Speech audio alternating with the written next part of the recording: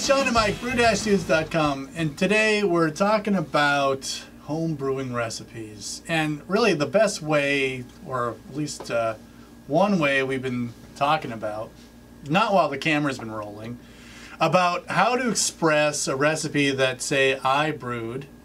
Uh, and for anyone who's reading our page on the internet or watching our video, to take that recipe and replicate it wherever they brew on whatever system they're brewing on. And you know, I I have been doing this because this is how I learned. I would just kind of calculate, um, you know, using software to the batch size that I typically brew. But I'm starting to see uh, recipes, like especially grain bills, instead of actual uh, weights and measures, it's more uh, percentage of the total grain bill. So I have uh, my own personal Mr. Peabody here to explain the the advantages of presenting your recipes with percentages, how to do that, sort of the hangups people have with software. Yeah. Is there anything else I'm missing? It sounds good enough to me. Okay, we'll start there. So let, let's talk about just presenting recipes in with grain bills with percentages, and I have Yeah. questions about how you present hops the same way, Yep. or in in a in a fashion where it's not like you need this Yeah. this this hop Mhm. in this weight. Yep. So I think we could have a whole other video talking about hops, hops. nice. I like that. Um, because hops are a little bit tricky because you're talking about time hmm and then percent alpha, Alpha, yeah. right, and then how much you're adding. Okay. Right? So, um, I think that's a that's a trickier topic. So we're gonna talk about grain bills. let's focus on grain bills. Grain bills expressed with not weights, Right, exactly. but, But percentages percentage, right. of grain bills. Right. So where would you where would you likely see a recipe expressed as percent? I mean, occasionally, I might talk about a recipe in a percent, or I know you I know uh, certain blogs strictly work in percent. Um, Guys who's people who swap with us give us their grain bill in percent. Right. So then another place you might see it if you get really cozy with uh, a local pro brewer in your town that you go see a lot, and you say, hey, you know what? I really love this stout recipe that you have. Um, can you share the recipe with me? He's likely to tell you, no problem, no problem. Uh, it's 85% this, 5% that, 5% this, whatever.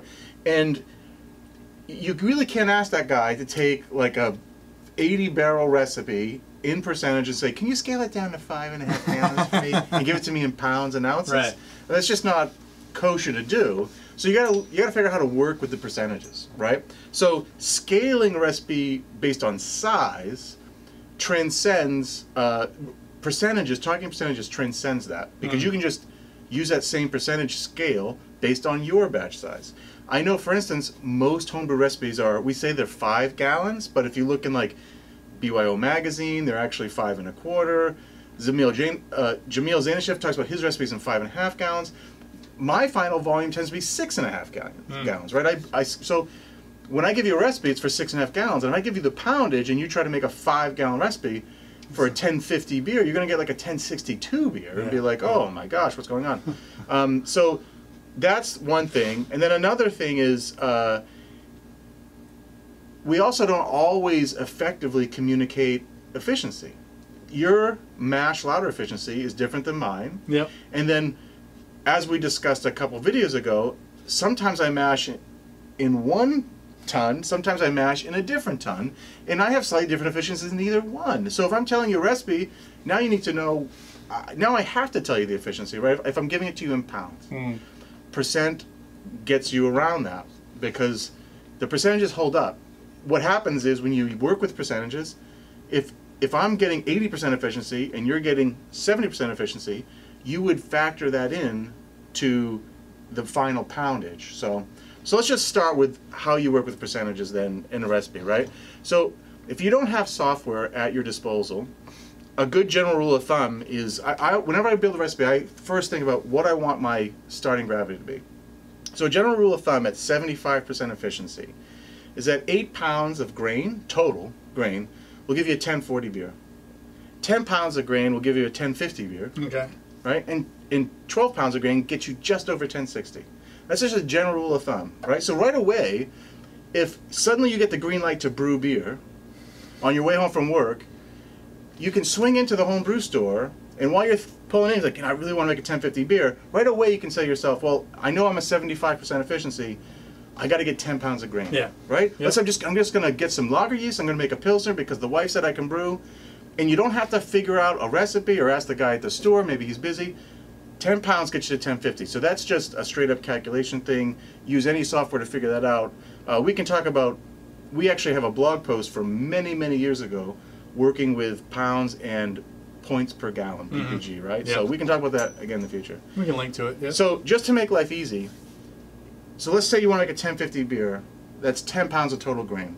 So it's not really rocket science to say then that, well, if I had a recipe that was 85% pale malt, 10% wheat, and then 2% something else, 2% another thing, and 1% something else, it's just a simple fact. Uh, you just multiply 10 pounds by Yeah. that by that as a percentage. So 10 times 0.85 for 85. So that's eight and a half pounds. You don't have to do the math. Eight and a half pounds of base malt, one pound for 10%, 0.2 pounds for the 2%, and 0.1 pound for 1%. There you go. It's pretty straightforward. Now you've automatically converted it. Now, let's say your efficiency is 75%. Is, is 70%. yeah. And that's say, for you said 75, right? Yeah. You can just then scale by multiplying those pounds by 75% and then dividing by 70%, 0.7. That's the that's Yeah. the factor. Yep. And now you'll be at like 0.12 something per, you know, uh, pounds. Um, it's pretty straightforward like that. The numbers I use 10 pounds as easy math to talk about it, but that works if you're doing the 12 pounds or 8 pounds or some weird thing for there. Um, and if you're not, it's not rocket science. So if you uh, accept that 8 pounds is 1040 and 10 pounds is 1050, well, maybe I want to be somewhere in the middle. I'm okay with 9 pounds or 9.5 pounds. And the other thing, too, is you shouldn't stress out over how do I weigh out 0.1 pounds? Well, 0.125 is an eighth of a pound. So just weigh out at this, because I know that our homebrew store, their scale actually weighs out and it's a, the thing actually reads in fractions Yeah. right? So, um, which is weird as opposed to giving you a number.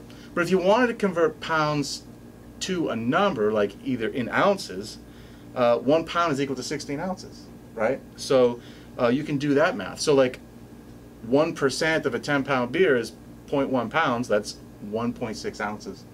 Um, if so, if a, the small scale at your home brew shop can weigh in ounces, you just change it to ounces and weigh out 1.6 ounces, right? Um, and you're there. It's pretty straightforward. Um, on a side note, one ounce of hops weighs 28 grams, right? Only because uh, in when I use when I use Beersmith, which and I don't use Beersmith to formulate on my recipes, but if I'm playing with recipes, um, Grams are easier. I actually weigh Yeah. stuff that's in the ounce range rather than do ounces. I, I do it in grams. But Yeah. that's that's a side note. Or another hop video. Hop video. Yeah, yeah, We'll wait for that. yeah. Because you know, then you got to talk about isomerization and which formula you're using to calculate IBUs and stuff. That just becomes a mess. Um, so, oh, I, I mean, I think that handles it, right? I mean, it, there can be more questions below. I can try to, if there are more questions, I can put, we can do another video, or I can do a screenshot video of the basic math, calculating the math. In the future, we can do a video of actually working with PPG and how to calculate this. Yeah. In general, I always, if I'm just trying to do it on paper, in general, one pound of malt gives you 37 points of gravity per gallon, right? So you got 10 pounds times 37, that's 370 points. Divided by 5 is going to be 1070 something OG, but you haven't adjusted for efficiency. So you have to multiply the 70 now by percent. Whatever your percentage efficiency is. Right, so it's seventy percent. That's like back to about like a ten fifty something, Yeah, right? So that's where it comes from. Um, so I guess one last thing, or why does this matter? Why does this matter to me? In my opinion, is that um, I think sometimes we're a little bit too dependent on software, and sometimes people use Beersmith a lot or other softwares a lot, and what they do in Beersmith doesn't reflect what actually happens out in the brew kettle in the fermenter. And they say, well, reality isn't matching up with the software. And I say, well, you know what? Your software isn't matching up with reality. And if you can do some of just the basic math of your grain bill on paper, or at lea- or at least you understand where the numbers come from, Really how to. Yeah. it's much quicker to actually, and you'll get much better at recipe formulation if you can kind of work with these numbers. Everybody's got a phone, Phones have calculators on them. I mean, of course, your phone has an app too. You can have a recipe app. Yeah, yeah. But like I said, if you're whipping into the homebrew shop, it takes some time to. All right, I'm going to add this malt and this to the recipe. If you've got to do it quick, working with percentages makes life easy. And I think you're going to see more and more recipes expressed as percentage. It makes sense. Yeah. I mean, certainly, like the, just the transferability of, you know, someone's, you know, this, I brew it like this on my system. It's not going to translate well for anyone else unless they're on my system. Yeah. You want to make it, you know, as easy as possible to replicate. And I think that's the whole thing about recipes anyway. Yep. If you go ahead and calculate what is a 1040, a 1050, a 1060 beer on your system based on the fact that you get 78.6% efficiency all the time, Right. then when I give you percentages, it's very easy for you to figure out.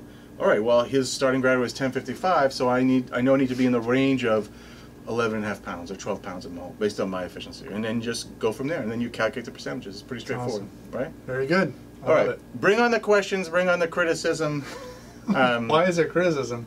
I don't know. Some people just be, why not just use software? I don't know. I like, I use both. I do Yeah, both. yeah. But it is good to know the, the fundamentals behind I'm a very last minute brewer. I know So I need to be able to do it on paper. That's right. On my way to the store, I'm thinking about it, and then You, you get the green light at the last Yeah. second. That's the issue. Absolutely. All right, hopefully that's helpful. I think it is. I think that anytime you know more of the math that goes behind home brewing, the better a home brewer you are or will be. Um, so hopefully that's helpful. Again, questions, put them below, and uh, we'll be quick to answer them because that's what we do. All right, thank you very much for watching. Please subscribe to our channel, like this video if you like it, and um, you know we'll be talking. We'll be doing more of these things. We'll even have a hop video calculation. I guess we'll do that. We'll do that. Put it on the list. For Sean and Mike, BrewDashDudes.com. Brew on. Cheers.